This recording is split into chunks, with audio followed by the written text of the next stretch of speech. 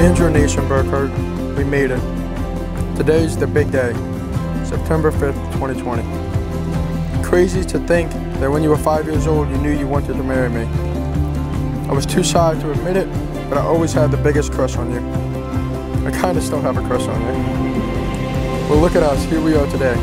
We are finally getting married. First and foremost, I love you. I promise to love you through sickness and health. Through our highest highs and our lowest lows, I promise to respect you as the leader of our household. Most importantly, I promise to keep Jesus at the center of this relationship. Through every challenge we face, I will stand by your side, love you, and pray with you. I am so blessed that God has given me the honor of being your wife. Aside from the wonderful gift of salvation, you are the best thing that has ever happened to me.